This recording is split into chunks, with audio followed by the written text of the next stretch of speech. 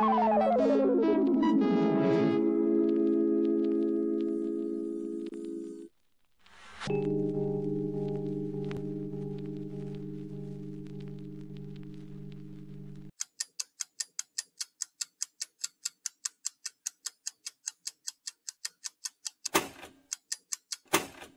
Un article paru le 7 novembre dans le journal Les Échos fait état d'un sondage commandité par le syndicat CGT auprès du sondeur Via Voice. La cible de ce sondage, les salariés des TPE, les très petites entreprises de moins de 11 salariés, par définition privées de représentants du personnel. Les salariés de ces petites entreprises sont-ils satisfaits de leur travail? Réponse dans l'article. Alors, plus encore que les autres syndicats, la CGT joue gros lors de l'élection de représentativité dans les TPE qui se déroule du 25 novembre au 9 décembre prochain. Si la CFDT lui a ravi la place de premier syndicat français en 2017, toute taille d'entreprise confondue, elle est restée première dans ce scrutin, ce qui lui permet de limiter l'écart entre les deux organisations syndicales. Comme les fois précédentes, l'enjeu est pour elle de creuser l'écart. Ces unions locales font feu de tout bois pour tenter de mobiliser une population pour l'essentiel très éloignée des syndicats.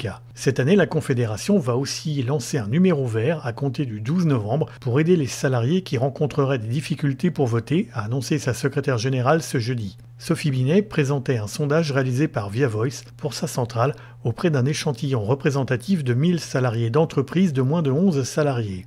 Un sondage lancé pour, je cite, enfin donner la parole à ces salariés qui sont absents de tous les radars alors qu'ils et elles sont 5 millions et constituent le ciment de la société, a souligné la leader syndicale. Cette enquête est riche d'enseignements sur une population salariée assez mal connue en définitive. Le premier d'entre eux tient à la domination d'un sentiment de satisfaction. En effet, 8 salariés de TPE sur 10 se déclarent satisfaits, dont 27% très satisfaits au travail. La même proportion estime disposer d'une liberté d'action et des marges de manœuvre pour faire leur travail. Un constat qui ne surprend pas Sophie Binet.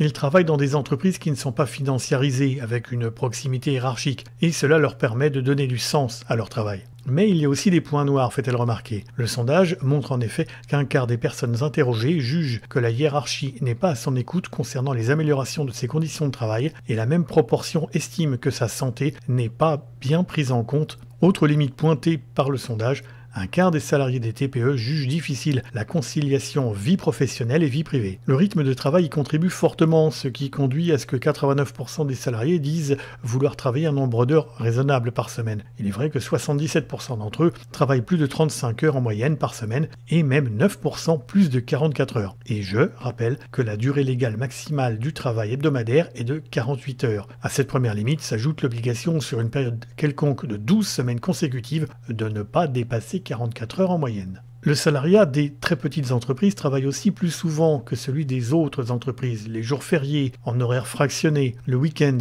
ou la nuit.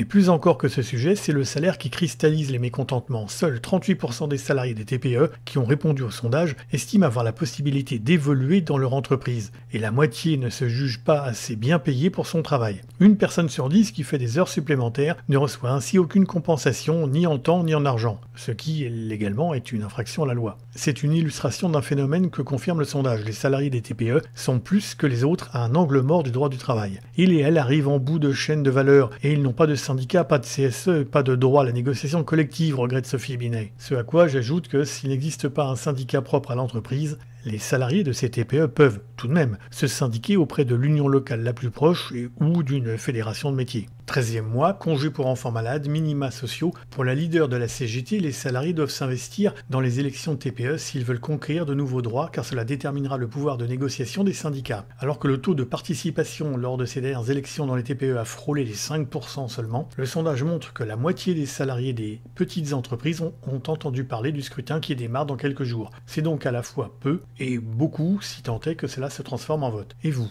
en aviez-vous entendu parler de ces élections? Les vidéos de la Minute du droit du travail sont publiées de manière irrégulière. Pour être prévenu de la sortie de la prochaine vidéo, pensez à vous abonner. Et vous avez trois playlists. Les youtubeurs, l'actualité et les prud'hommes.